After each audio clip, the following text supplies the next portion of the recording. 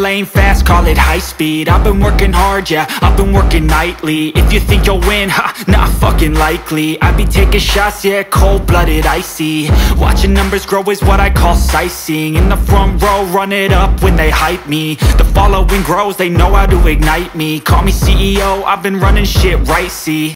Hey everyone! Okay, so welcome back to another podcast. We're actually going to do a deep dive on Alyson. So, I've been wanting to do this for ages because everybody, I mean, we've got stuff from back in 2015. So, we're going to go through her old blog, and this might be a long one, but I am going to be putting on YouTube. So, um, I had a couple people ask me if we were going to be doing the live on YouTube, but I feel like it's just easier on here because obviously we all know who each other are on here and stuff like that. So I thought it'd be a good one. But everyone's always like, um, who's Alyson? Like what or they just know from her now and they don't realize like the severity of what it was back then. So I actually have some screenshots and stuff that I'm thinking it's going to work that I'll be able to put up on the back screen. So Alyson now, I think her account is called like Trauma Llama or something like that. It's, yeah, some trauma llama. I don't know. She changes her account like every couple of weeks. Like it's always a big change. She's like, oh, I don't want this drama. And then she'll like change accounts, and everybody will follow her. I think usually she gets a new account with every boyfriend that she has. Everything I have to post today come from Sober Life. If you guys don't know, I'll, I'll just comment and tag them, I think. Might be the way. Sorry, just TWT here interrupting to let you know that I spelt that wrong. It's actually Sober Life 420. So S O B E R L Y F 420, and that is Alyson's main exposing page. Yeah, like there's tons. So she was, I just looked at it right, and it said here like the first blog that I can see from her. She's had a blog called Journey to Hell. And the absolute first one that she posted was Saturday the 20th of June in 2015. So um, I started my page around about the same time. So it was sort of like when I started the page, there was a lot of Alyson stuff. Like everybody talked about Alyson because I know I started my page in July of 2015. That's crazy, guys. That's like almost seven years. That's some commitment. but um, because I had my son in April. Actually, my child, my last child, was born the exact same day as Courtney Owen's kid, Shiloh. So that's nuts. Um, but anyway, so we'll just go through the blog first. So if you want to find the blog yourself, it's called Journey from Hell, ackp.blogspot.com.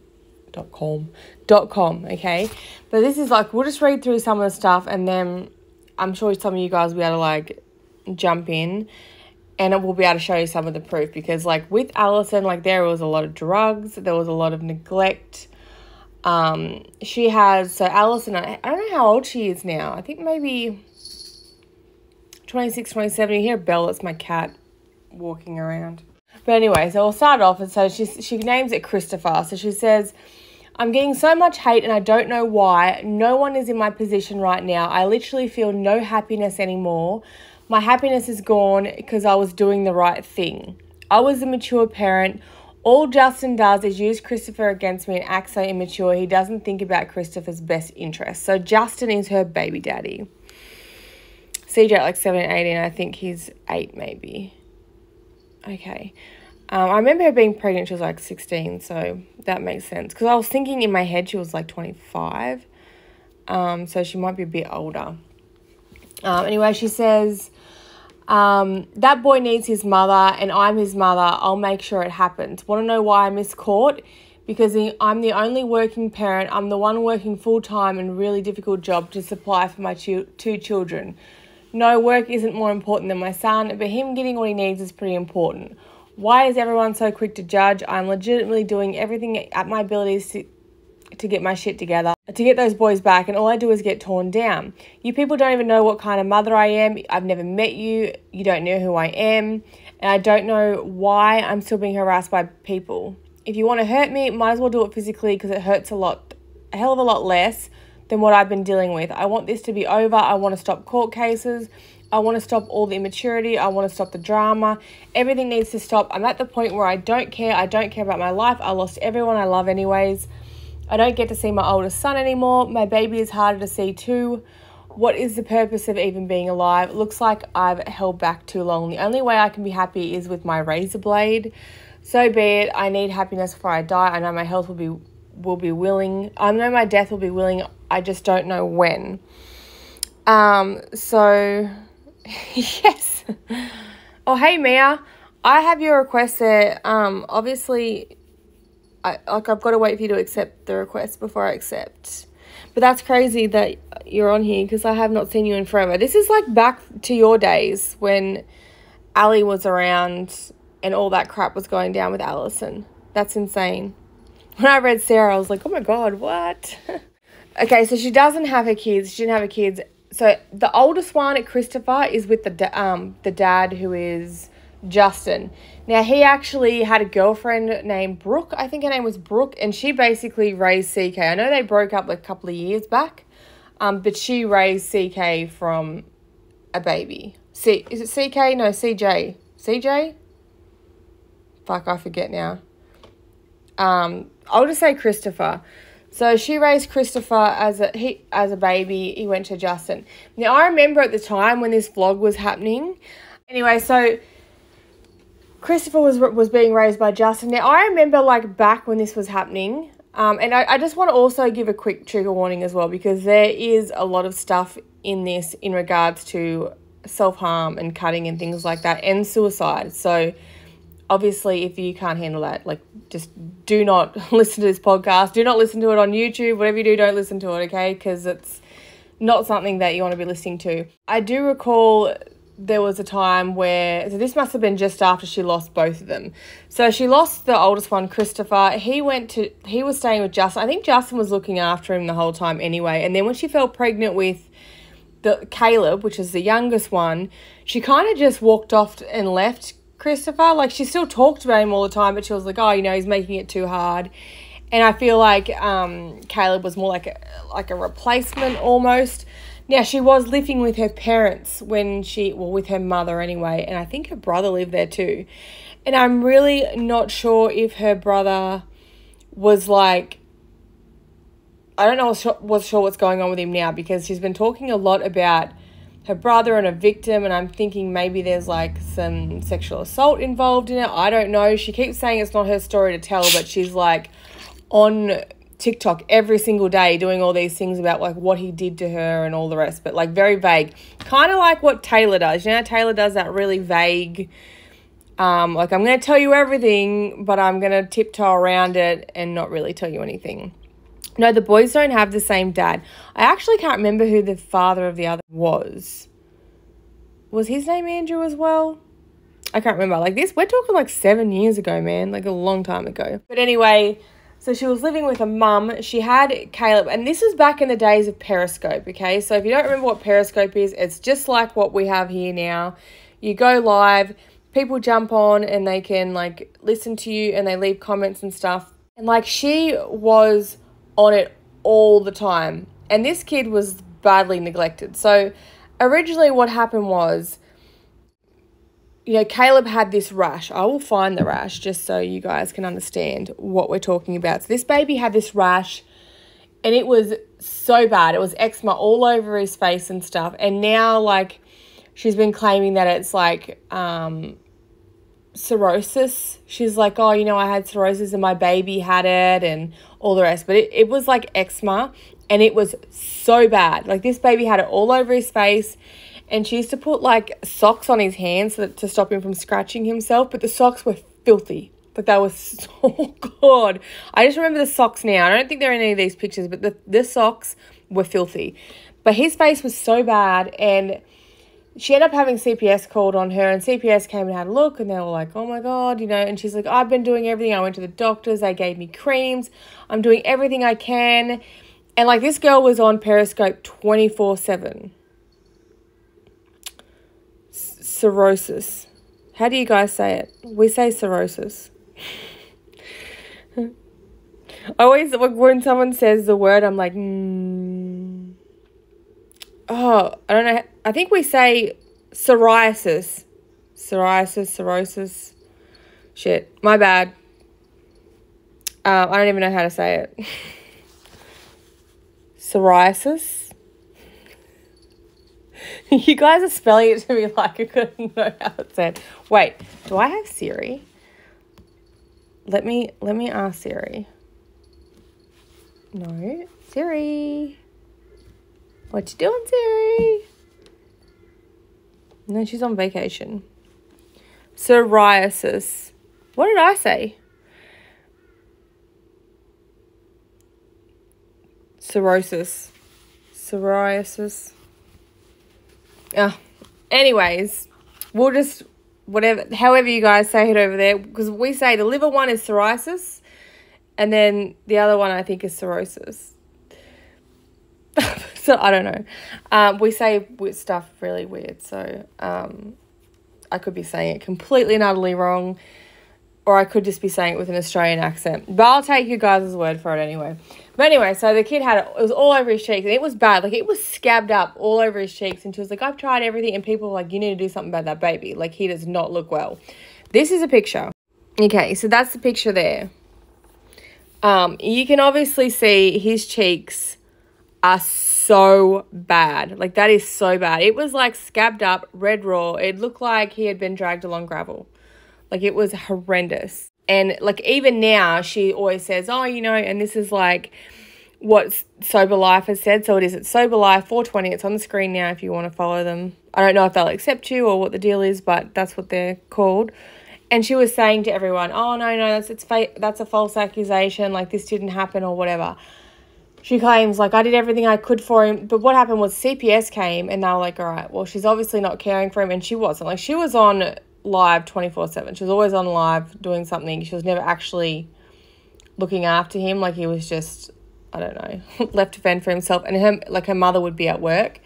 So CPS were like, "Well, we're gonna have to remove him out of her custody." So the mum stepped up, Alyson's mum stepped up, and she was like, okay, well, I'll take custody um, of him. But she had to work. So she would leave Caleb with Alyson still throughout the day. So it, it really wasn't any different than what it was already because mum was working before and she would come home and pretty much have to like step in and care for him. So they were like giving her parenting courses and stuff like that. It was really bad. Like, look at that for scabs on his face.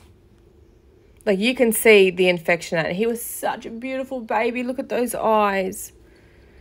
But anyway, it was hard. It was very hard to watch. And then yeah, mum stepped in and she was like, "Okay, well, you know, I'll take I'll take custody of him."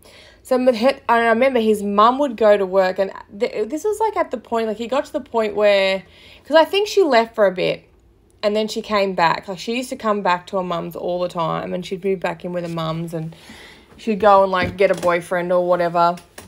And I remember like her brother used to always be like bringing her stuff home. Her brother used to always like be, she'd just, she'd always be at the back smoking. She'd be on Periscope, the baby'd be inside. She'd like come inside.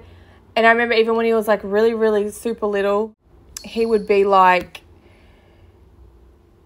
like he'd be crying for food and he'd come over and she'd be like, oh, all right then. And she'd like give him like a, a couple of bites of noodles, but she'd never actually just get off Periscope to feed him or anything like that. And he was always like, you know, whining. And I do remember one day she was on Periscope and, and I remember like he'd have these big saggy nappies. Like he'd have the big saggy nappies on. People would be like, dude, like you need to jump off and change his nappy. And he should be like, his nappy's fine. Like, and she would snap at everybody and she'd crack a shit. And people were trying to help her back then because it wasn't like, I think a lot of people thought like she was a bad mom, but they also thought maybe she was just uneducated and didn't understand. So they were like try to help her. But she was always on Periscope. And this one day her mum came home and he was in a shit. And he'd been there for like, and I remember people were like, "Oh, you need to change his nappy," and she didn't. And the mum came home and seen, and he, she went, she was like, "Why did?" And she went off, right? She was like, "Why didn't you change his nappy?" So she picks him up and she takes him off, and and Alyson is still on Periscope, and then she comes back and she starts screaming at her and she's like this baby's bottom is like red raw like how, how long has he been sitting in that poop for and like we knew of at least an hour because we were on the periscope watching it and we we're like oh my god change his nappy, you know. Oh, it was horrible. It was so horrible. But anyway, like that is such a confronting picture to see that baby. But as soon as CPS handed care over to the mum, this rash that he had had for ages cleaned up. You know, I think it was two weeks and it started to get better. Like, that's one with the socks on.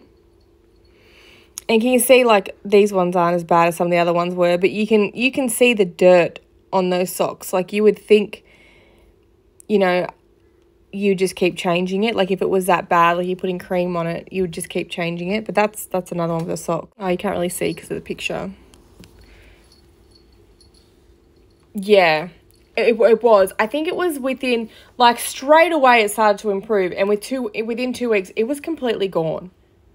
So everyone was like, "All right." So you try for months and months. Like I took him to every doctor, and I can't do it, and this and that. And it was. I think it was just pure laziness. Like she wasn't cleaning it. She just put the socks on and go about and like this was like an infection, you know. It was really bad. Oh, I hate even looking at those pictures, but it, it was awful. And she would come back and forth. But like with CJ, she kind of just like palmed him off. And I remember one at one point because her mum would just let her come back all the time. And I think, like, I could never work out if Alyson's mum was good or bad because she'd come back and she'd be screaming and I think, oh my god, like, you know, maybe if you're going to accept a child and say, well, I'll be the guardian of this child.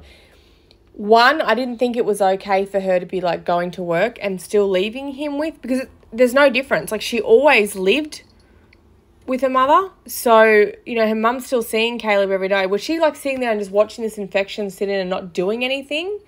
Or was she trying to help and Alyson was like, no, fuck off? And then, like, you know, obviously CPS steps in. They give her the child and then she has more of a say. I don't know what was happening, but Alyson's mum would always let her move back in. She'd be like, okay, you can move back in. And she'd just want to be with Caleb. And then she would like meet some dickhead online and then off she'd go again. Like it was just, I know, it was atrocious. But I do remember when she was living, um, she, she had moved and she came back. She was meant to come back. And Brooke and Justin had said to her, like, you know, we want you in CJ's life. Because I think they got jack of it towards the end. And I understand that because she ended up just signing over custody. I don't believe he even had to go to court. I think she just like gave in because she just couldn't be fucked. But I, I do know that there was one time where they said to her, like, you know, they organised for her to come and stay there so that she could um, see Christopher and hang out with him. And like that's pretty courteous of Brooke to be like, yeah, you know, bring your ex girlfriend into our house. Like even offered the, for them to for her to stay there at their house to spend time with Christopher and stuff.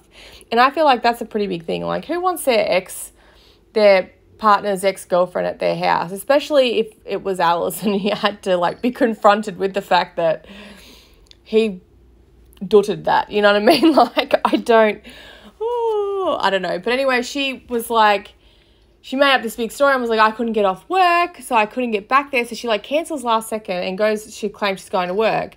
And she's like, I'm not leaving work for this. Like, don't you realize how important it is? Like, I've got to support my kids. I think that was like what she's referencing up there as well. And like, I have to support my kids. And then like two days later, she was off sick for no reason. Like, it was some other random shit. It's like, okay, so you can't take off work sick to go to court, but you can take off work to pretend to be sick to get wasted. Anyway, so the next heading she has is cyberbullying, and she says, I get asked daily how I put up with all the shit people put me through, and I honestly don't know how to answer. I don't. I don't deal with it. I sit here and I let it tear me on the inside while I make it seem like everyone around me that make it seem to everyone around me that I'm okay. How would anyone deal with it? They truly don't. They will say it does not bother them, then that's all they think about when they are alone. They'll say they're okay and they laugh it off when they truly don't. No one can say I don't know what I'm talking about because I do for years, probably longer than Sierra Satterfield. I've been just dealing with this. Like, all right. The only reason Sierra has ever dealt with any kind of flack on the internet is because she's fucking dealt it and people give it back to her. Sierra used to be a real twat back in the day. Like I I remember following Sierra and thinking, "Oh, this poor girl, like she's bullied," because that's what they were all saying. Like you know, Sierra, and that was her. That was her tagline. Like when they used to tag each other in the sex Sunday, sex confession Saturdays and stuff, they'd be like, "Go and follow this girl. Like she's so bullied, but I love her." Like what the fuck? And people be like, "Oh, I feel sorry for her," because that is what it's like. Like the Insta moms, a lot of them are famous because it's like a pity thing. Like you have to find what your niche is. Like, oh, I'm bullied. Like Becca's was, I live in a shelter, you know. Crystal's was like, oh, I'm such a victim. Like domestic abuse that I keep going back to constantly and creating drama on the internet constantly. You know, she would, it's not just so much the fact that she would go back to DV because we all know, we all, we've all done it. Probably most of us have done it. Not to lie.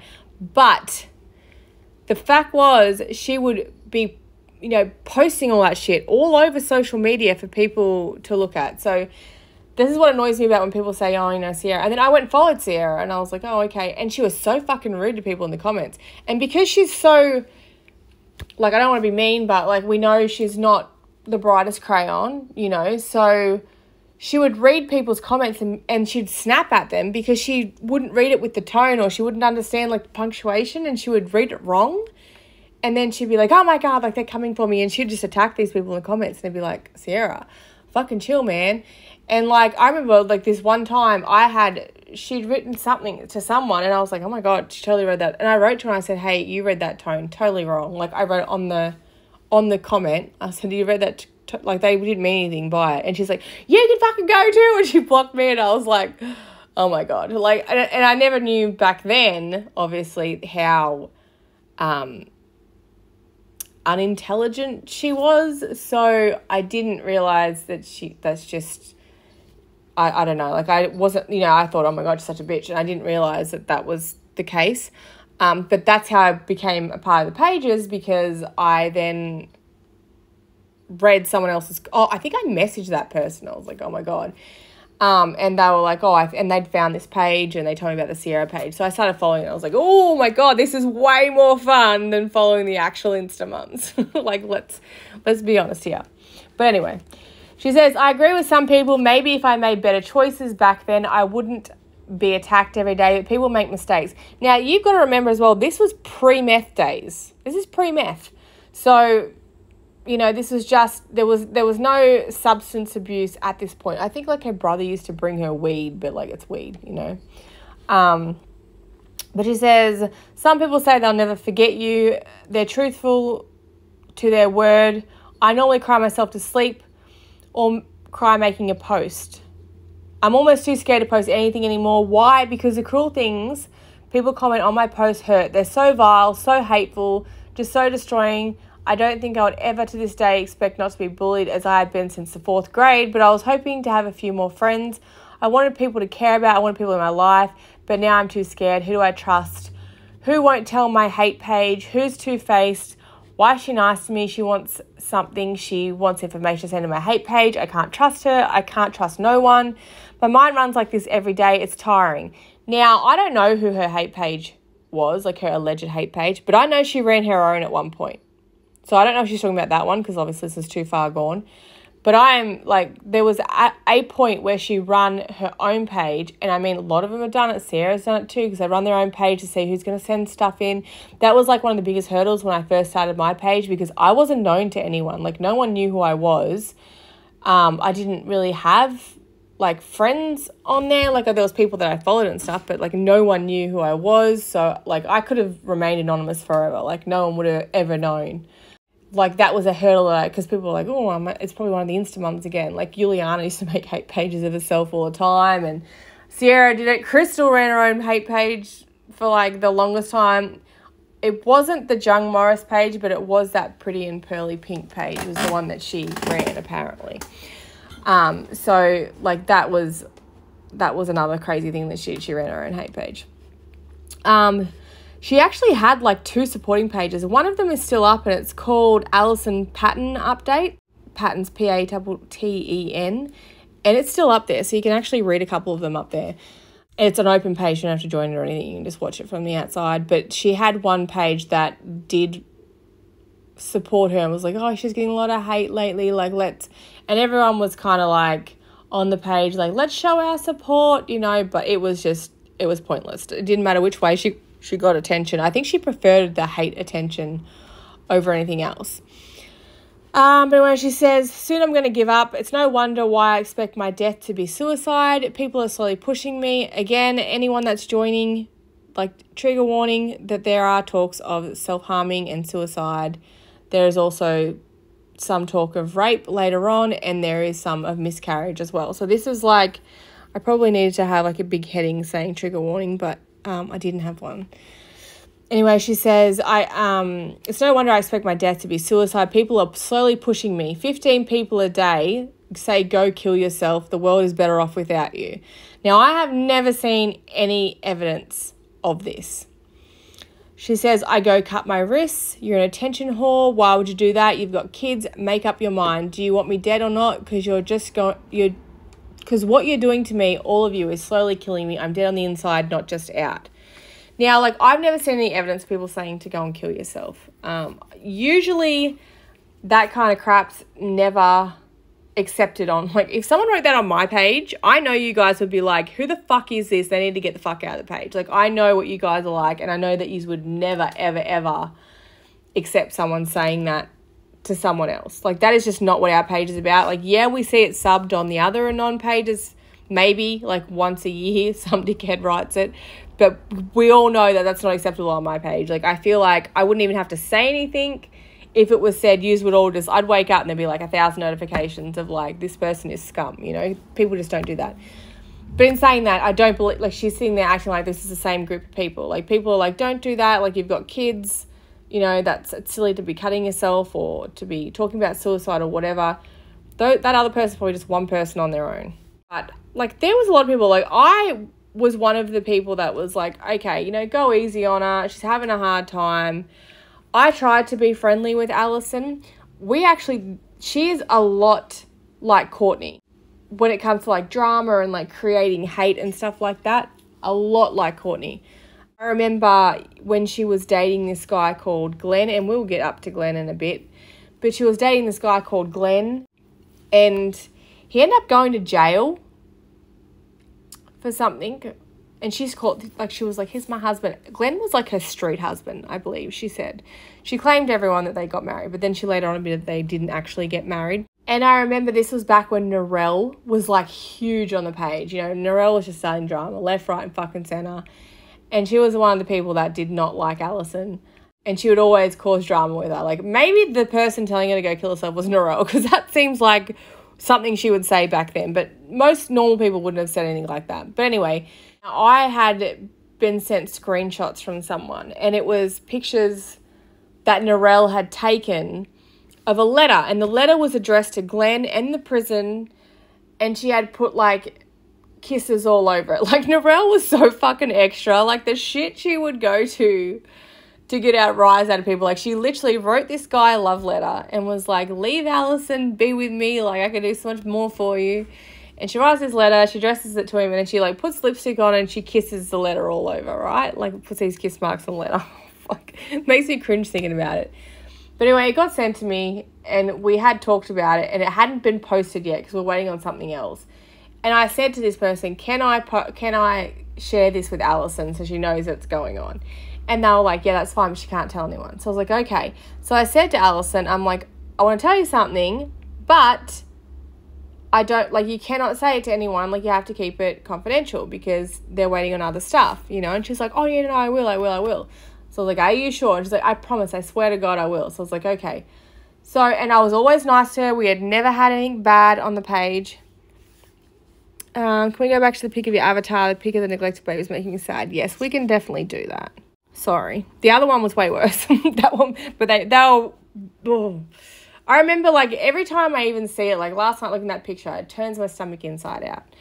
But anyway, so I said to him, I'm like, you cannot share this with anyone. Like, it has to say strictly confidential. She's like, I promise, I swear, I swear on everything, I will not tell anyone. So I was like, okay. So we went to a Periscope and I showed her the stuff on the Periscope. And I was like, you know, and she's like, oh, I promise I won't say anything. Within like 10 minutes, she had gone on Periscope and was going off her head and told everybody about the letter. That's what she's like.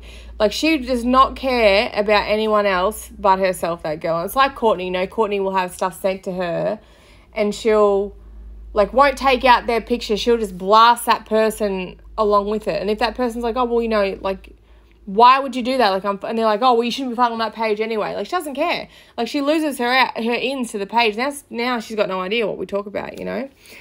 But anyway, that was one of the things. And, and so after that with Alyson, I was like, okay. I still, like, I didn't hate her or anything, but I was like, I'm not helping her in any way now. like, you know, if that's the way she treats people that try to, like, give her a heads up, mm, not happening. So then this is after she's left home. So this is the next part of her blog. She goes, I haven't written in a while, but this time I'm writing about it's a real reason I left town. It's a real reason I left town. I was broken alone. Caleb had just been forced out of my care. I had no idea what, why they would just do that without any proof of me neglecting him when all I did was try to make him better. Really? That mark, those marks on his face is not proof enough. I feel like maybe when she meets new people, and it's again same as Courtney, meets new people, and she like everybody knows what she's done. Like everybody knows the past, everybody knows you know what she's been up to, and she will act like completely oblivious to why people feel this way about her. Will this live be saved and posted? Won't be able to watch all of tonight. Yes, it will be. I'm going to be posting it on YouTube. I've just got to edit out a couple of things and we all good. Um, so obviously like that CPS, like one look at that face, you'd be like, fuck. But I remember they came and seen her before and they gave her the chance to clear that shit up. They gave her the chance. She didn't do it. Mum got the care and then within two weeks he was good. And she goes, gone in the blink of an eye. No one cared for me. I was alone. I still am alone, but right now I have more mental support. As most of you know, I left town away from my boys 16 hours away. So this is just before the meth started. I told everyone that it was better myself, but the truth is, I needed out. I needed out of the horrid, dark place my mind has built for me. I needed away from where my nightmares and suicide attempts had started. The real reason I left town is because I tried killing myself again. I thought this would have been helpful to get away from, to run away from the place that haunted me the most, but turns out that's not Fort McMurray, it was my own mind. I'd have to die to get rid of the hauntings, the truthful thoughts, and horrifying memories. I was all for dying at the time. It was all I wanted because I had no one left, not even my precious fighter or my loving hero. I had no one. Death was among me. I think I was meant to say, I don't know. it was either then where I knew how I would die or to live the life of a depressed mother who has nothing to live for. My depression has really taken a toll on my body. I can barely move some days, but I have to. Some days I just sit on my bed and cry over nothing, or at night I just think and thinking is isn't always for my best interest. I'm forever haunted until I can make it better. There's nothing I can do. Yes, I've taken pills. They don't work. Only make it worse. I get too scared to take new brands because I'm scared it'll change me as a person. There's days I know what I have to do for a reason to stay alive, but those days are only when I'm with my beautiful boys. Days when I'm alone, I really shouldn't be. I end up cutting or trying to kill myself because I believe that the boys will be better off without me. I mean, that's what everyone makes it out to seem like. If everyone truly wanted me to die, I wouldn't have any problems making it come true. But something is holding me back, something is keeping me alive. I don't know why or how because death is among me and I shouldn't be held back. I want to gain my wings. My mother doesn't even love me anymore. She was my best friend. I don't know what happened to our friendship, but it's gone. Everything's gone. Why can't I be? I need a reason as to why I'm not dead yet. I can't. I keep trying. My wrists are cut. I pop pills. I try to hang myself. Clearly, I want to be gone. Why can't I be? Why won't anyone let me be gone, even though you guys hide behind a phone screen to tell me to kill myself? Why am I not dead yet? I need to know. I want to know. This is the most painful blog I've written, yet my heart still aches so bad. I still don't know why I'm alive. I don't know my purpose. I would be it would be amazing to know though. Then maybe I could stop wishing to never wake up. I'm being selfish. I have two kids, but this is what depression does. Depression hurts you, it kills you, and without the proper help, you'll end up dead or emotionless for life. Dead on the inside. I'm trying to get help, but it hurts to have to to need it.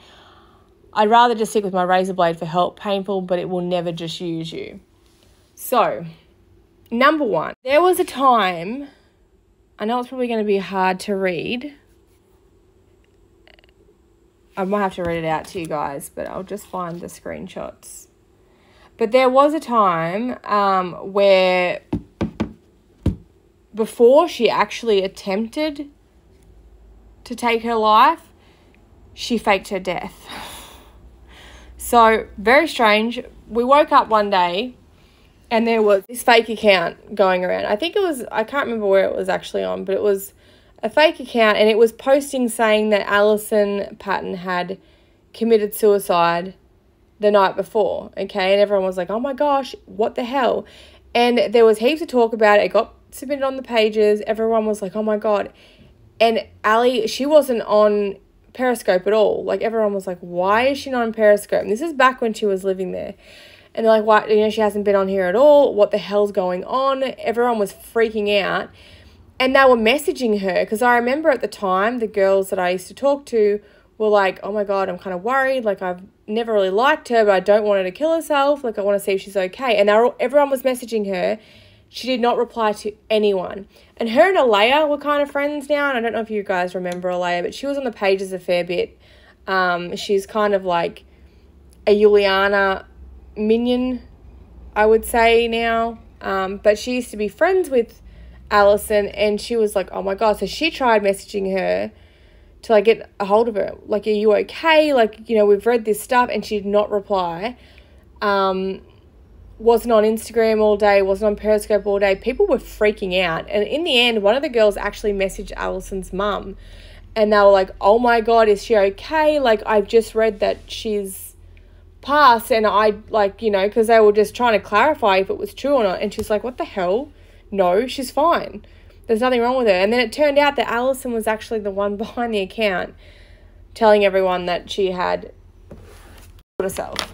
So like that that is sick. That is the sickest thing I've ever heard. She yeah, she's very intense. She was way worse um back then though. Like back then she was just out of control. It was always about having the attention on her. And it did start with her. I think she really wanted to be an Insta mum. She wanted to be Insta famous. Like she tried so hard to be Insta famous. She tried and like get involved in like the follow trains and things like that. But she just didn't. She couldn't be an Insta mum because she just didn't have that. I don't know. Like she was kind of like looked at for all the wrong reasons. I guess. But anyway, this is what this one says. So she says, um, one of the dumbest things a person can do on purpose, overdosing. Here is my story of what happened to me. I lost my job and it was the last straw. I felt as though I couldn't keep anything in my life. Nothing will ever go right, so I felt like killing myself would be perfect answer to never get hurt again. Never lose anything again, so I went home and took 16 Valium, and after about 10 minutes, maybe even 5, there was a knock on the door. I stood up, felt so woozy, walked up the stairs and answered the door. It was the cops and Callie Goebel. Alaya Nelson called the cops and somehow had gotten a hold of um, Kalai and they made me sit down. And when I got outside, I was wobbling. When they got me in the ambulance, I was fine. And I remember them asking me to switch beds, and then my memory stopped. Nurses told me I stopped breathing. They had to put that thing up my nose to help me. They pumped my stomach and then made me drink charcoal when I came to a little bit. It was gross, but then I got angry because they cut off my shirt and brand new bra. So I ended up ripping my nose thing out and my IV out of my arm and said, I'm going home. Fuck you guys. Fuck this. They handcuffed me to the bed. I needed a piece. They finally uncuffed me. They let me go to the bathroom. Um, then I had Callie. Is it Kaylee? Callie? Um, I'm wondering if it's that other Kaylee. You know the real um the the Jesus lover one. I know. I almost forgot about the fake death. It's insane. She says, That's all I remember. Next thing I know, I'm I'm in an inpatient psychiatric ward in bed, passing the fuck out. Um, then it was next morning. Apparently, the nurses the nurses pumped me full of extra unneeded drugs and I was done for out cold. That's my story. I remember. I hope no one else has to go through I did what I did and I feel so dumb for doing it, but hey, everything happens for a reason. Yes, so we're a little bit late. I just want to let you guys know, obviously, trigger warning because there is a lot of talk about suicide, cutting, um, miscarriage. There's actually quite a lot of racism in this. Shit, what have I missed? Drug addiction. Pretty much anything that's triggering is in this video. So um, just be mindful of that. So anyway, at this time when all this happened, Alaya, um, she was kind of like pretty good friends with her. Alaya was like pretty big on the Instamum scene, not an Instamum, but she was like a part of these pages. She was friends with Narelle for a point there. She was kind of friends with every. It's very hard to know with Alaya because a lot of people are like, hmm, Alaya's a snake. They thought she was like she'd play everyone's sides. Like you know, I used to be quite good friends with Alaya, and I had her on the page, but then there was you know with people saying like she was such good friends with Juliana. There's a bit of a liability in that sense because we know how well Juliana can manipulate people. So I was like, nah, I don't want to play in this big in this. So I just kept her off the page for everybody else's safety. You know, I think it's better to keep people off the page that are friends with an Insta mum that's a danger to the page. Like, not a danger to the page, but like, we don't want the page getting deleted. We enjoy the page. You know, the TWT 4.5 page is the page that you go to if you want to read news. If you want to, like, you know, read what everyone has to say, you go to TWT 5.0 because no one holds back there. But there's a lot of weak people that can't handle that sort of stuff. So, yes, it's Alyson. Yeah, I know she's going to love the attention. You're right. Like, I mean, Tiara, you've been around since forever. You're a part of the furniture now as well. so you would have seen all of this go down. A lot of the stuff with Alyson, like we all know, there was a lot of attention stuff where she was just trying to be that Insta mum, but she just didn't have it. Like, obviously, someone else said before, she didn't have a kid, so it was very hard for that. But so many people tried to help her. Like, I'm not, we're not going to act like nobody tried to help her.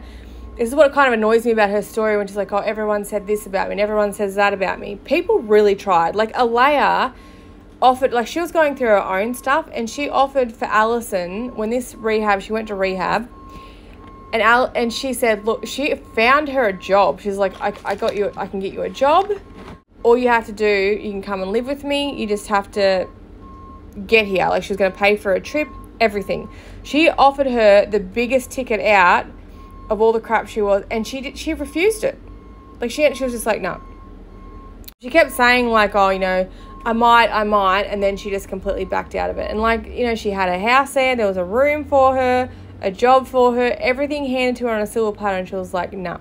she just didn't want to do it. It was, it was very frustrating to watch. And then after that, I think she lost a lot of faith in people. People were just like, "Okay, well."